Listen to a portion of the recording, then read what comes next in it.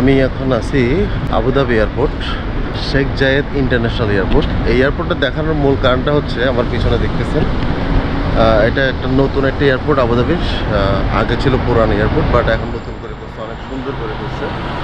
আমি এখন এমন একটা জায়গায় যাচ্ছি যেটা মুসলিম বিশ্বের সমগ্র মুসলিম জাতির জন্য একটা আবেগের জায়গা। আপনারা গেস করেন যে জায়গাটা কি হইতে পারে, যে কোন জায়গা হইতে পারে। তো আমি যাচ্ছি উইজিয়ারে, এই যে দেখেন উইজিয়ারে। তো আমি ওই জায়গাতে খুব সস্তায় ফ্লাইটে যাচ্ছি। যেখান থেকে খুবই কম খরচে আপনি চাইলে ওই জায়গা যেটা হচ্ছে একটাকে বললাম যে মুসলিম বিশ্বের আবেগের স্থান যেটা, যেটার নাম হচ্ছে সৌদি আরবিয়া। মদিনা ফ্লাইটটা এখান থেকে মাত্র একশো সাতচল্লিশ দেড়হাম একশো সাতচল্লিশ দেড়হাম মানে হচ্ছে বাংলা টাকা পাঁচ হাজার টাকার মতো। আর আমার আসার ফ্লাইটটা হচ্ছে অনলি ছত্রিশ দেড়হাম যেটা বাংলা টাকায় মানে কত হবে? এক হাজার টাকার মতো পড়বে আর কি। তো এখন ভিতরের দিকে ঢুকবো। আছে শুধুমাত্র একটা কাঁধের ব্যাগ আর কোনো ট্রলি টলি নাই, কারণ আমি যেহেতু চিপ ফ্লাইট আমি সস্তায় যাচ্ছি সো শুধুমাত্র আমার কাঁধের ব্যাগটা অ্যালাউন্স তাও একটা নির্দিষ্ট সাইজ দিছে, দশ কেজি আমি ক্যারি করতে পারব। তো দেখি ভিতরের অবস্থা কি, এখানকার প্রসিডিওরটা কি। এটা হচ্ছে এয়ারপোর্টের ভিতরের অবস্থা। খুবই সুন্দর এবং গোছানো। তো এয়ারপোর্টে আমি আসলে প্রথম আসছি। দু হাজার বাইশ সালে আমি যখন আসছিলাম মানে আবুধাবি এয়ারপোর্টটা ইউজ করছিলাম, অন্য কান্ট্রিতে গেছিলাম, তখন ছিল পুরান এয়ারপোর্টটা বাট এটা দেখতেছি একদমই নতুন, খুবই সুন্দর, খুবই গোছানো, খুবই লাক্সারিয়াস করছে এয়ারপোর্টটা। মানে আধুনিক সব সুযোগ সুবিধা এটাতে আছে, যেটা এক কথায় বলা যায়। আমি চেক ইন কাউন্টারের দিকে যাব অলরেডি আমি বোর্ডিংটা আগেই অনলাইন নিয়ে নিছি, কিন্তু উইজিয়ারের ক্ষেত্রে যে কিছু রেস্ট্রিকশন আছে, যেটা হচ্ছে আগে থেকে আপনাকে বোর্ডিংটা আগে থেকেই করে নিতে হবে। মানে বোর্ডিং কার্ডটা আমি অলরেডি পেয়ে গেছি অনলাইনে কিন্তু যেটা হচ্ছে এখানে শো করতে হবে তারপর সেই জন্য এখানে চেক কাউন্টারে গিয়ে আমি শো করব, দেখি। একটু পরে দেখাচ্ছি বাকিটা। এটা হচ্ছে আবুধাবি এয়ারপোর্টের ইমিগ্রেশনের পরের অবস্থা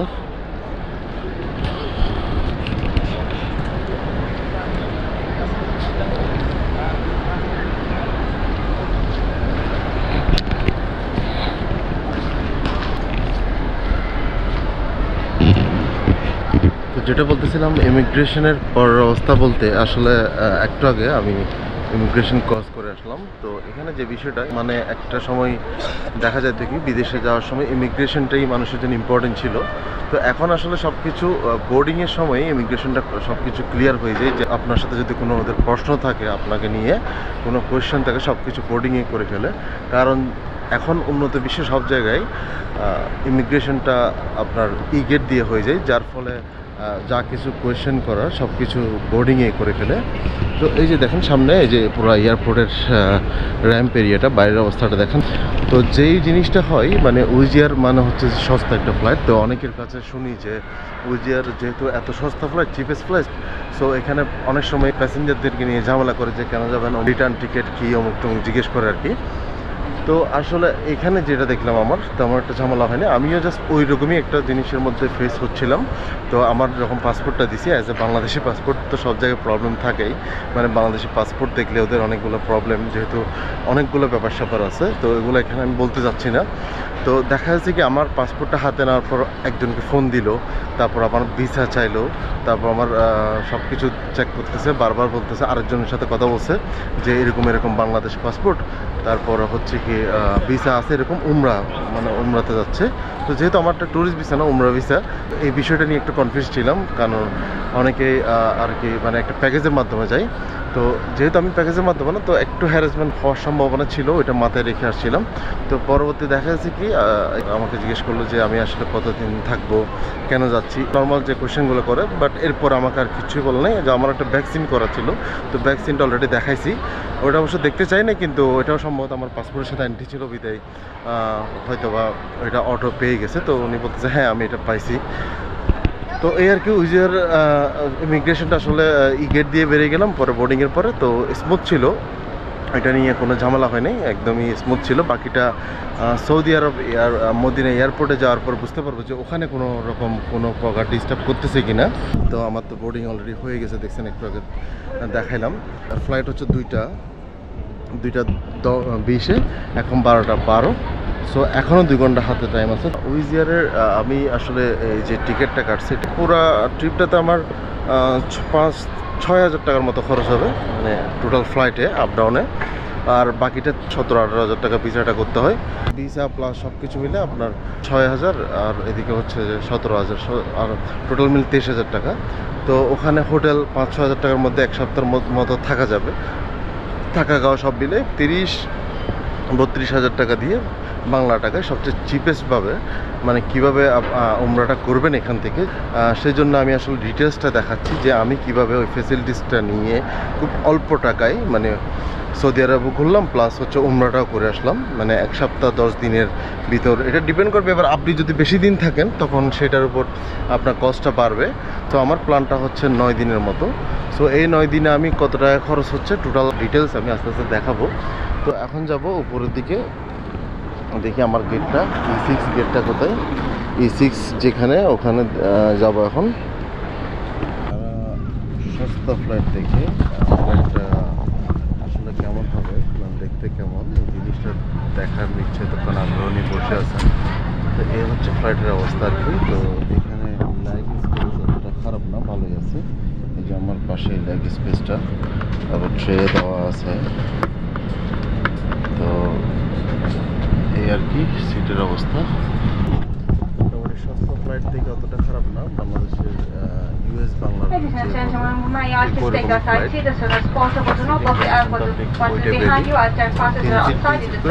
ছয় সিট আছে পাশাপাশি।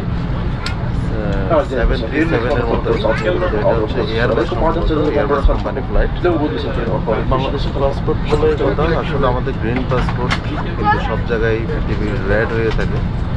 আর রেড পাসপোর্ট যারা বা অন্যান্য কালারের পাসপোর্ট যারা তাদের জন্য পুরো পৃথিবীটাই হচ্ছে গ্রিন অলমোস্ট গ্রিন তো এখন হচ্ছে বোর্ড ফ্লাইটে একটা বিশে ছাড়ার কথা এখন একটা সরি দুইটা বিশে ছাড়ার কথা এখন একটা পঞ্চাশ।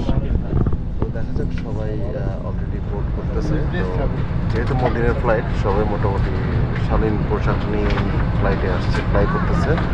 অন্যান্য কান্ট্রি হলে সেক্ষেত্রে হয়তো বা কাপড় চোপড়ের অন্য অবস্থা দেখতাম। মদিনে পৌঁছতে সময় লাগবে দুই ঘণ্টা বিশ মিনিটের মতো। তো এই ফ্লাইট যেহেতু চিপ ফ্লাইট খাবার দাবার অবস্থা নেই। সেল করবে আপনার কাছে আপনি চাইলে কিনে নিয়ে কিনেও খেতে পারবেন। দেখা হচ্ছে মদিনায় গিয়ে বাকিটা এয়ারপোর্টের অভিজ্ঞতাটা বলব। ওখানে কি অবস্থা? ওখানে কোনো প্রবলেম করতেছে কিনা? জাস্ট পাসপোর্টের কারণে পাসপোর্টের রিপোর্টেশন এতটাই খারাপ যে আপনার যে আপনার যে কান্ট্রি ভিসায় থাকুক আপনার উন্নত কান্ট্রির আপনাকে একটু ডিস্টার্ব করবেই সো সব কিছু তো প্রস্তুতি নিয়ে আসলে এসব ফ্লাইটে যখন ফ্লাই করবেন যেহেতু চিপেস্ট ফ্লাইট সো একটু প্রস্তুতি নিয়ে রাখতে হবে যাতে করে যে কোনো টাইপের প্রশ্নগুলো উত্তর দিতে পারেন। সো আর কিছুক্ষণের মধ্যে ফ্লাই করব। তো দোয়া করবেন। দেখা হচ্ছে মদিনী এয়ারপোর্টে আলহামদুলিল্লাহ, চলে আসলাম বিশ্বের সবচেয়ে পবিত্র শহর Medina Munawwara, Medina al Munawwara. তো মদিনার ইমিগ্রেশনটা একদমই স্মুথ ছিল, কোনো সমস্যা হয়নি বিন্দু পরিমাণ জাস্ট কিছুই জিজ্ঞেস করা নেই। এমনি জিজ্ঞেস করল যে, কেন উমরাত আসছি কিনা? ওইটাই জিজ্ঞেস করল, আর বলছে কি, আমি আগে আসছি কিনা এখানে? তো এটাই জিজ্ঞেস করল, বললাম যে, আমি তো দু হাজার চোদ্দ সালে আমি এখানে আসছিলাম একবার। তখন জেদ্দা এয়ারপোর্টে আসছিলাম বাট মদিনা এয়ারপোর্টে এটাই প্রথম। তো এখানকার ইমিগ্রেশন অ্যাকচুয়ালি স্মুথ ছিল আসা পর্যন্ত, আর এয়ারপোর্টটা দেখলাম যে অতটা বড় না। মদিনা এয়ারপোর্ট সম্ভবত রিয়াদি এয়ারপোর্টটা অনেক বেশি স্মার্ট এই গেট দিয়ে আসার ট্রাই করছিলাম, এই গেট দিয়ে ঢুকছি ঠিকই বাট নর্মাল ইমিগ্রেশন হয়েছে সো এই গেট দিয়ে আসতে পারলাম না ইমিগ্রেশন হয়েছে তো আরেকটা যেটা হচ্ছে এয়ারপোর্টটা আসলে অতটা বড় না, যেটা দেখে মনে হচ্ছে আসলে অনেক আগের তৈরি, অনেক ছোটোখাটো মানে সুন্দর, তবে পুরনো আর কি। আবুধাবি এয়ারপোর্টটা যেরকম নতুন করে বানাইছে, ঠিক আগের আগের এয়ারপোর্টের মতোই। তো, মদিনা শহরটা আসলে আগের বার যখন দু হাজার চোদ্দ সাল আসছিলাম তখন ওইভাবে এক্সপ্লোর করতে পারিনি জাস্ট একটা কাফালা, যেহেতু সবাই একটা কাফালার মাধ্যমে আসে। তো সেই কারণে একটু কনফিউজ ছিলাম যে কাফালা ছাড়া আসছি বিদায় কি কোনো প্রবলেম করতেছে কিনা মানে কোনো একটা মোয়াল মোয়াল্লাম, কি জানি একটা সিস্টেম আছে আর কি। তো যাই হোক মদিনা এয়ারপোর্টে নামলাম আর কোনো একটা এজেন্সি ছাড়া আসলাম। দেখলাম যে স্মুথলি আসা গেছে, কোনো প্রবলেম হয়নি। তো এখানকার রিয়ালটা অ্যাকচুয়ালি দুবাইয়ের দেড়হামের মতোই প্রাইসটা অনেকটা দুই এক টাকা দিক থাকে। তারপর এখানে আপনি চাইলে রিয়েল রিয়েলের জায়গায় আপনি দেড়হাম ইউজ করতে পারবেন। দেড়হামও চলে, আমি যতটুকু জানি। তো আমি এখন কোনো টাকা চেঞ্জ করিনি এখনও পর্যন্ত।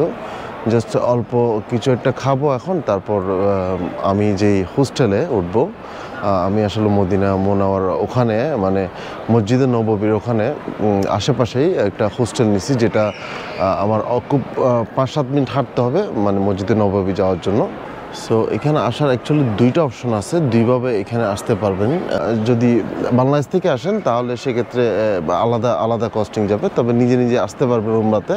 তো আমি যেহেতু ইউএইতে ছিলাম ওই জন্য এই সুবিধাটা নিছি যে সস্তায় কীভাবে আসা যায়। তো এটা একটা ওয়ে সস্তায় আসার। আর আরেকটা ওয়ে হচ্ছে, আপনি যখন সৌদি এয়ারলাইন্সে করে কোনো এক জায়গায় ট্রাভেল করবেন মানে অন্য একটা দেশ থেকে ট্রানজিট হয়ে যাবেন, সেক্ষেত্রে আপনি ninety six hour that mean চার দিনের জন্য একটা লেওভার পাবেন এখানে। আপনি যদি দুবাই থেকে বাংলাদেশে যান কোনো সৌদি এয়ারলাইন্সে করে, তাহলে সৌদি এয়ারলাইন্সের ট্রানজিট লেওভারটা পড়বে হচ্ছে রিয়াদে পড়বে। তো রিয়াদ থেকে আপনি চাইলে চার দিনের লেওভারে আপনি মক্কায় উমরাও করে নিতে পারবেন প্লাস মদিনাও যেতে পারবেন, যতটুক সময় কভার করতে পারেন আর কি তো ওইভাবেও আসা যায়, কিন্তু আমার কাছে ওই জিনিসটা এটা টাইমের উপর ডিপেন্ড করে, সময়ের উপর ডিপেন্ড করে। যেমন ধরেন আপনি যদি ওইটা, ওইটার কস্টিংয়ের উপর ডিপেন্ড করে, যেমন অনেক সময় দেখা দেখা যাচ্ছে কি আপনি ভিসা নিতে যে টাইমটা যাচ্ছে কস্টিংটা যাচ্ছে, ওইটা যদি ওইভাবে কাভার হয় তাহলে সৌদি এয়ারলাইন্সের প্রাইসের সাথে মানে কোনো ইউএই ওমান কাতার যে কোনো কান্ট্রি থেকে, তো মানে বাংলাদেশ যাইতে চাচ্ছেন সেই ক্ষেত্রে অথবা ইন্ডিয়া যেতে চাচ্ছেন অথবা পাকিস্তান যেতে চাচ্ছেন সেই ক্ষেত্রে আপনার এখানে ট্রানজিটটা নিতে পারবেন। তবে অবশ্যই সৌদি এয়ারলাইন্সে হইতে হবে। তবে এই ক্ষেত্রে একটা বিষয় আমি যেটা জানি, সেটা হচ্ছে ওইটা ভিসা লাগবে না টোটালি আপনি যখন ট্রানজিটের মাধ্যমে লেওয়ারের মাধ্যমে আসবেন কিন্তু ভিসা না লাগলেও আপনাকে দুইশো রিয়ালের মতো ইন্স্যুরেন্স ফি দিতে হয়। তো মানে মোটামুটি বাংলা টাকায় ধরেন দুইশো রিয়াল মানে হচ্ছে যে বাংলা টাকায় সাত হাজার অলমোস্ট সাত হাজারের কাছাকাছি এরকম একটা অ্যামাউন্ট হবে। তো মোটামুটি একটা কস্ট যাবেই। যদি সব কিছু সুযোগ সুবিধা মিলে তাহলে ওইটা বেটার আমার আজকের এই ভিডিওটা আসলে আমার এই সৌদি সৌদি আরবের এই ওমরা টোটাল যে ভিডিওগুলো আমি দিব, সবগুলো হচ্ছে আসলে যেটা চিপেস্ট উমরা কীভাবে করতে পারবেন যে আপনি আমিরাস মানে ইউএই থেকে অথবা ওমান কিংবা মানে মিডল ইস্টের কান্ট্রি থেকে থেকে কান্ট্রি থেকে ওই জিনিসটা আমি দেখাবো। আর ফ্লাইটে কোনো রকম প্রবলেম ছিল না, খালি একটাই প্রবলেম খাবার তো দেয় না। সিটটা পিছনে হেলান দেওয়া যাচ্ছিল না, ওইটা ছাড়া আর আমার কাছে তেমন একটা প্রবলেম মনে হয়নি সো আমি এই মুহূর্তে কোনো সিম নিচ্ছি না, খুব বেশি প্রয়োজন হলে একটা ই সিম নিয়ে নিব। এখানকার সিম নেওয়া মানে অনেক টাকার ব্যাপার স্যাপার। তো এখানকার সিম যদি খুব বেশি প্রয়োজন না হয়, না নেওয়াটাই ভালো। কারণ আপনি তো বাসায় গেলে ওয়াইফাই পাচ্ছেনই। তো বাকি সময়টা আপনি যেহেতু যদি ইবাদত করতে আসেন, উমরা করতে আসেন, তাহলে মদিনা কিংবা মক্কায় আপনি তো ইবাদতের জন্য ব্যস্ত থাকবেন। সেক্ষেত্রে আমার মনে হয় না সিমটার খুব বেশি প্রয়োজন। যদি ঘরে ওয়াইফাই থাকে, তাহলে তার দরকার নেই। তো এখন আমি বের হব। দেখা যাক, দুই হাজার সাল আসছি, প্রায় অলমোস্ট টেন ইয়ার্স হয়ে গেছে। তো দশ বছর আগে আসছিলাম, আর এখনকার পরিস্থিতি কি, এখন দেখতে কেমন? নিশ্চয় আগের চেয়ে অনেক বেশি সুন্দর হয়েছে এখন। চলেন তাহলে, যাওয়া যাক, দেখি পবিত্র নগরীর সৌন্দর্য তো এটাই হচ্ছে মদিনা এয়ারপোর্টের বাইরের অবস্থা।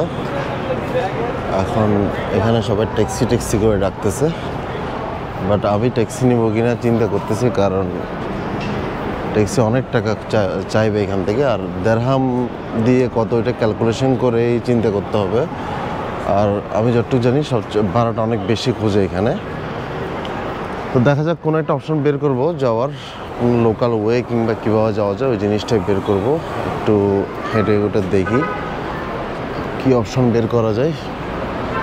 বাট বাইরের পরিবেশটা সুন্দর, মসজিদ একটা আছে, মনে হচ্ছে এই জায়গাটা একটা মসজিদ, গোলটা। তো দেখা যাক ট্যাক্সি কী ব্যবস্থা করা যায় আর কি। তো বাস উঠে গেলাম, এটা হচ্ছে বাসের অবস্থা আর কি। তো বাস পেয়ে গেছে এখান থেকে মসজিদে নববী যাইতে। পনেরো মিনিট লাগবে, বাইশ কিলোমিটারের মতো লাগবে। এখানে কার্ডে পেমেন্ট করছি, টাকা এখনও ভাঙাইতে হয় নাই কার্ডে পেমেন্ট করছি, সাড়ে এগারো রিয়েলস নিছে। আমি যদিও একটা সৌদি রিয়াল পেয়ে গেছে হাতে, কারণ হচ্ছে আমার পাশে একজন ভাই, ওনার ক্যাশ টাকা রিসিভ এখানে বাসগুলো ক্যাশ টাকা নেয় না কার্ডে পেমেন্ট নেই। এই যে উনি, ওনার ওনার পেমেন্ট আমি কার্ডে করছি, উনি আমাকে ক্যাশ দিয়েছে সাড়ে এগারো রিয়েল।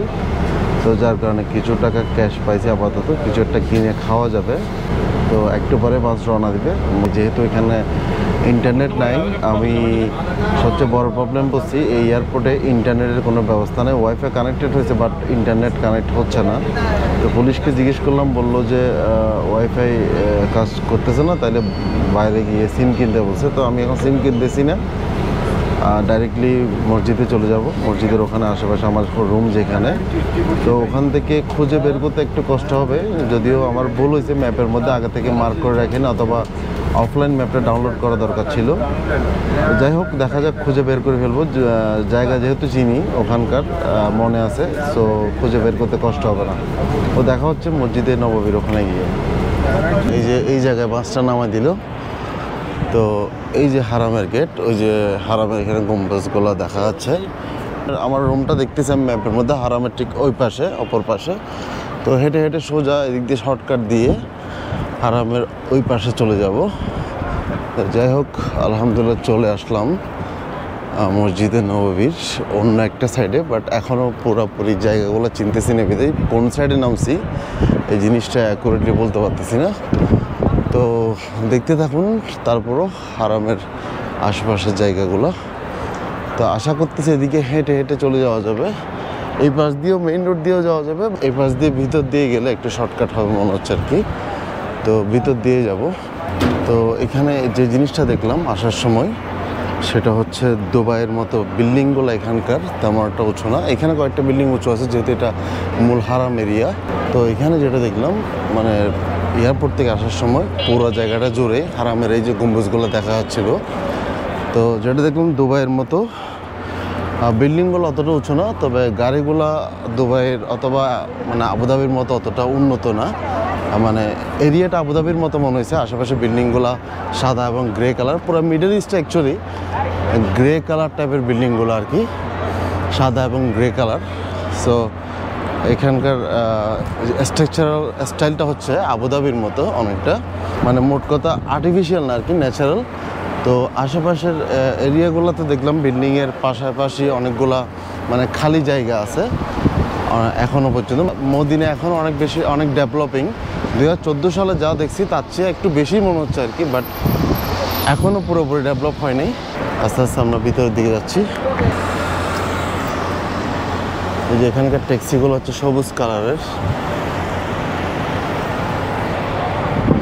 সো আমি মসজিদে নববীর আশেপাশের এই জায়গাগুলোতে আসছিলাম। লাস্ট টাইম মনে পড়তেছে আর কি। এখানে সব হোটেলগুলো, হিলটন হোটেল, এই পাশের জামনে যেটা দেখা যাচ্ছে এটা হল হিলটন হোটেল। অনেক এক্সপেন্সিভ আশেপাশের এরিয়া খুবই গোছানো আর কি। মদিনে এই এই জিনিসগুলোই ভালো লাগে। মানে শান্ত একটা শহর। দুই হাজার চোদ্দ সালেও এই জিনিসগুলো ছিল। তো আমি আসলে সোজা গিয়ে এখন আপাতত মদিনার মানে মসজিদে ঢুকবো না। নামাজটা আগে পড়ে ফেলছি। তো এখন আপাতত আমি ডানে গিয়ে আমার রুমের দিকে যাব, পরে ফ্রেশ হয়ে তারপর আবার বেরোবো আর কি।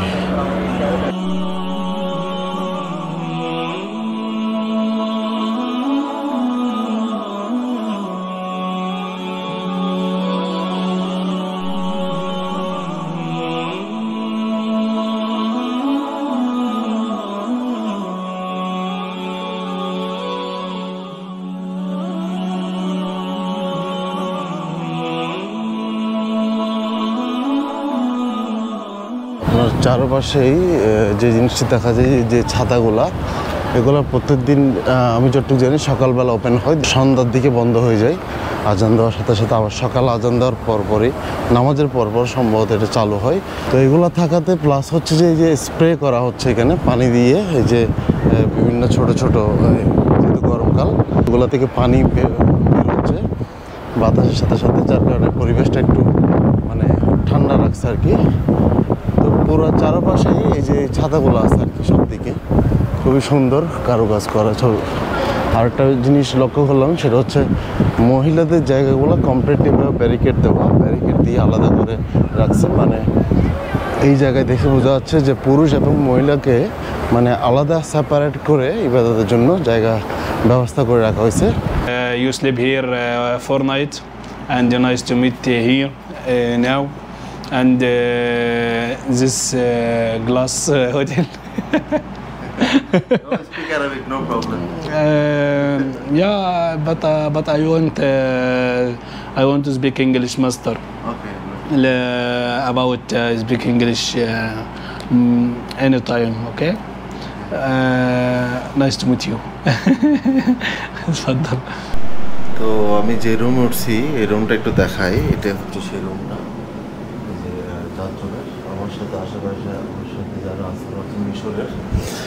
মিশর থেকে আসছে আমার সাথে যারা আছেন। তো এই রুমেই থাকব আগামী চার দিনের জন্য, তারপর যাব মক্কা। তো আপাতত এই যে দেখাইলাম এটার ভাড়া হচ্ছে পার নাইট এক হাজার টাকার মতো। সো খারাপ না, মোটামুটি। এখন তো সিজনে এখানে প্রচুর মানুষ আসছে বিভিন্ন জায়গা থেকে, যার কারণে রুমের অবস্থা খুবই খারাপ। মসজিদের আশেপাশে যে রুমগুলো আছে, ওগুলোতে আসলে অনেক বেশি দাম। আর রুম বেশ করে রুমই পাওয়া যাচ্ছে না। সো এখানে নিলাম। একটু দূরে পাঁচ সাত মিনিট লাগবে এখান থেকে হেঁটে যেতে বাট তারপরও খারাপ না। তো একটু পর বের হয়ে আমি মদিনার আশপাশটা দেখাবো। তো এখন একটু ফ্রেশ হয়ে বেরোচ্ছে একটু পর। তো ফ্রেশ হয়ে এখন মসজিদের হারামের দিকে যাচ্ছি, তার মানে মসজিদের নববীর দিকে যাচ্ছি। আজকে ভিডিওটা আসলে অনেক বেশি লম্বা হয়ে যাচ্ছে সো আর বেশি লম্বা করব না। আপাতত বিদায় নিচ্ছি আজকের জন্য। তো বাকিটা আজকে রাতে যদি আরও কিছু ভিডিও করতে পারি, সেটা দেখাবো। বিল্ডিংয়ে দেখি কিছু দেখানো গেলে, তারপরেও আমি কিছুক্ষণ পরে দেখাচ্ছি। আর যদি না হয়, তাহলে আজকের জন্য ভিডিওটা এখানে বিদায় নিচ্ছি।